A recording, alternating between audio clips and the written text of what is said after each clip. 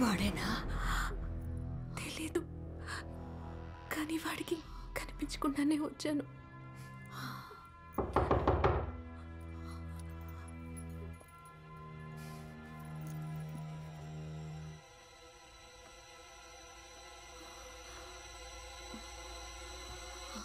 ఎవరు? Meter reading అమ్మా.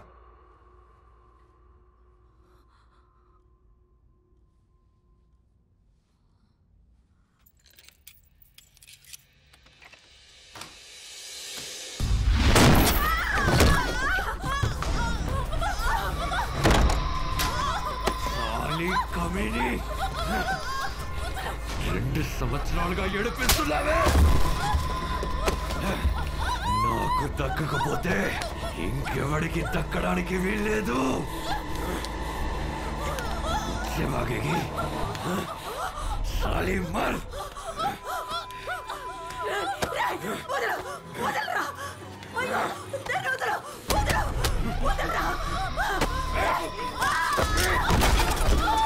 からかれたべ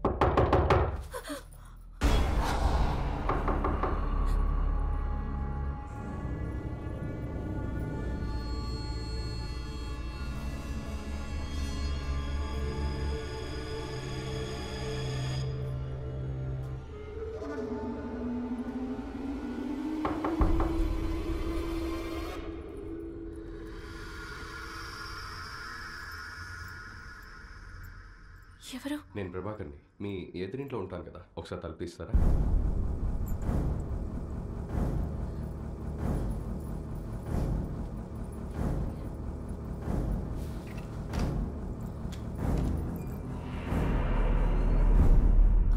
ఏం కావాలి?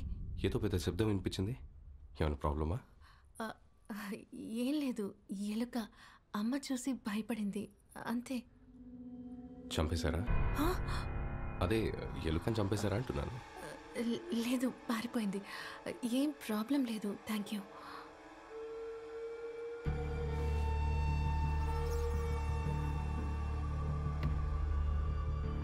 సరే అయితే.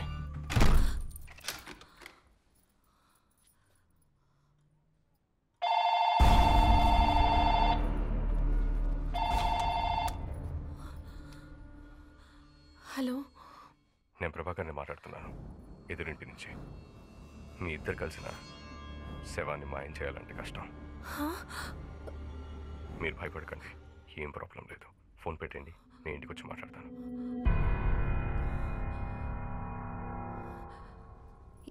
ఇక్కడ జరిగిన విషయం అక్కడున్న మీకు అసలు ఎలా తెలిసింది? ఓ పెద్ద సౌండ్ వచ్చింది. వచ్చి డోర్ కొట్టాను. మీరు డోర్ తీసినప్పుడు డోర్ చైన్ ఊడుండటం చూశాను. దానికి తోడు మీ మొహంలో భయం. లోపలికి తొంగి చూసేసరికి రెండు కాళ్ళు మాత్రమే కనిపించాయి. మీరెవరినైనా దాచారనుకున్నా కింద పడుకోవాల్సిన అవసరం లేదు. నేను చూసింది వినిన దాన్ని బట్టి ఇలాగే జరుగుంటుంది అనుకున్నాను నేను ఊహించినట్టే జరిగింది. ఇప్పుడు ఏం చేయాలనుకుంటున్నారు? సరెండర్ అవుతాను. నేను చంపాను. నేను సరెండర్ అవుతాను. ఏం మాట్లాడుతున్నావు? నువ్వేం చేయలేదు. జయంతి నువ్వు మాట్లాడద్దు. నా కూతుర్ని కాపాడడానికి నేనే చెప్పాను నేనే సరెండర్ అవుతాను. ఈ హత్య మీరు ఒక్కరే చేశారని ఎంత నమ్మించాలని ట్రై చేసినా పోలీసులు నమ్మరు. ఇద్దరిని కలిపి అరెస్ట్ చేస్తారు. అయ్యో నా కూతురికి ఏం కాకూడదు. నన్నేం చేయమంటారు? మీరు సరెండర్ అవ్వాలంటే అవ్వండి మీ ఇష్టం. ఒకవేళ తప్పించుకోవాలంటే మాత్రం ఈ బాడీని మాయం చేయాలి. అది మీ ఒక్కరి వల్ల అయ్యే పని కాదు. మీకు హెల్ప్ కావాలి. నేను మీకు హెల్ప్ చేస్తాను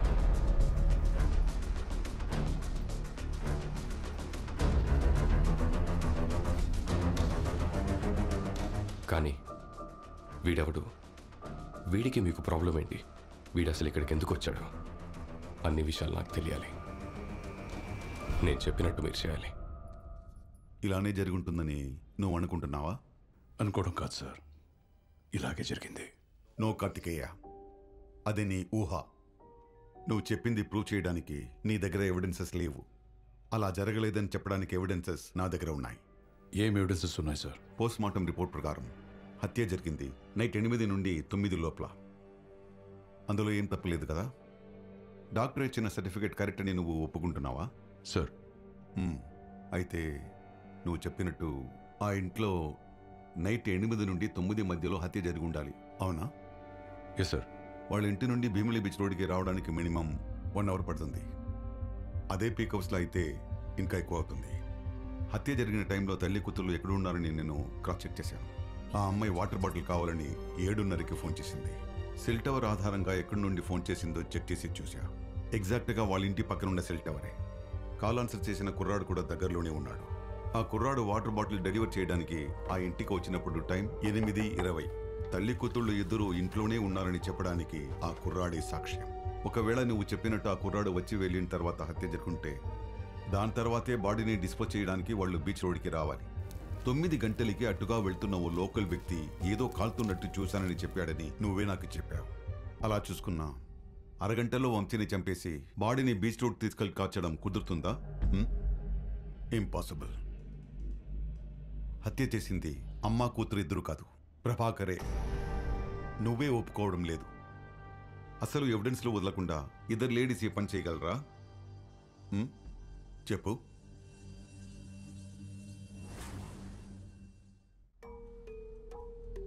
పోస్ట్ మార్టం రిపోర్ట్ ప్రకారం హత్య జరిగింది నైట్ ఎనిమిది నుండి తొమ్మిది లోపల. ఆ కుర్రాడు వాటర్ బాటిల్ డెలివర్ చేయడానికి ఆ ఇంటికి వచ్చినప్పుడు టైం ఎనిమిది ఇరవై. తల్లి కూతుళ్ళు ఇద్దరు ఇంట్లోనే ఉన్నారని చెప్పడానికి ఆ కుర్రాడే సాక్ష్యం. అరగంటలో వంశీని చంపేసి బాడీని బీచ్ రోడ్ తీసుకెళ్ళి కాల్చడం కుదురుతుందా? ప్రభాకర్ సార్ ఆఫీస్కి రాలేదు. థ్యాంక్ యూ ఇట్స్ ఓకే ఇన్ని హత్యలు చేయడానికైనా నేను రెడీ. నా జయంతి సంతోషంగా ఉండాలి.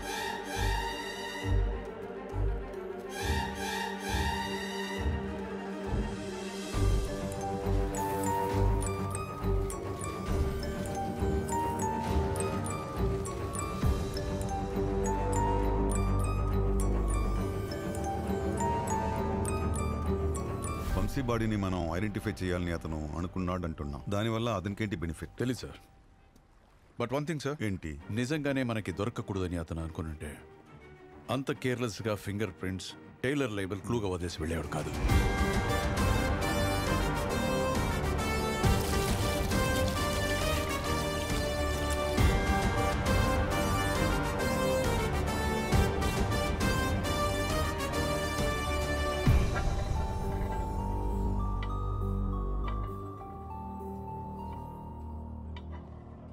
మల్లెపూలు కావాలా? హల్వా వద్దమ్మా నీకు. మా వాడిని బాగానే నాకేస్తున్నావే ఉండు వాడికి ఇస్తాను వెయిట్ చేయి. నా ఫోన్ అనుకుని నీ ఫోన్ తీసుకున్నానయ్యా. అవునా? నేను కూడా చూసుకోలేదే. రెండు ఒకేలా ఉన్నాయి కదా. సరే నీ చెల్లెలు ఫోన్ చేసింది చూడు.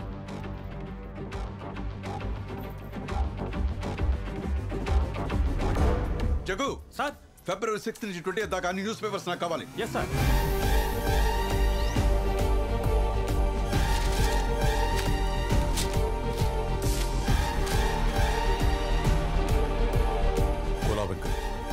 Prabhakar's family details.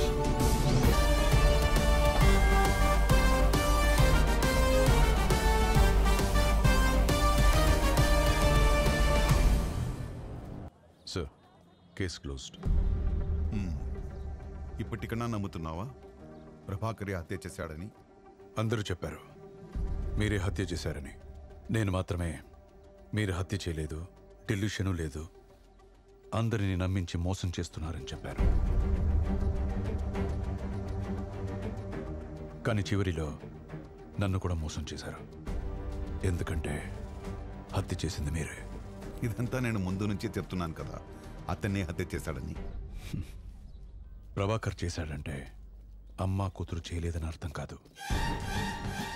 వాళ్ళు చేశారు. అర్థం కాలేదు. మీరు డిపార్ట్మెంట్లో ఉన్నప్పుడు మీరు హ్యాండిల్ చేసిన కేసు రికార్డ్స్ని చెక్ చేశాను. నలభై ఐదు కేసులు ముప్పై ఐదు కేసులు అన్సాల్వ్డ్. మంచి ఆఫీసర్ అని పేరు తెచ్చుకొని ఎందుకింత పోర్ ట్రాక్ రికార్డు ఉందని కోలా వెంకట్ని అడిగాను. ఇన్ని అన్సాల్వ్డ్ కేసెస్ ఎలా? అవి రికార్డ్స్కే అన్సాల్వ్డ్ సార్. ప్రభాకర్ సార్ గురించి మీకు తెలియదు ఆయన లా అండ్ ఆర్డర్ని అస్సలు ఫాలో అవడం ఆయనకంటూ సెపరేట్ లా ఉంది. తప్పు చేసినోడు దొరికినా ఆయన వెంటనే పట్టుకుని జైల్లో పెట్టాడు. వాడు ఎందుకు అలా చేశాడో ముందు తెలుసుకుంటాడు. న్యాయం వాడి వైపు ఉంటే వాడికి వార్నింగ్ ఇచ్చి వదిలేస్తాడు. బట్ వాడి మీద ఎప్పుడూ ఒక కన్నీసి ఉంచుతాడు. ఆయనకి ట్రాక్ రికార్డ్స్ ముఖ్యం కాదు సార్ ఇంకో ఛాన్స్ ఇస్తే మంచిగా మారతాడని తెలిస్తే చాలు. వాళ్ళకి ఆ ఛాన్స్ ఇస్తాడు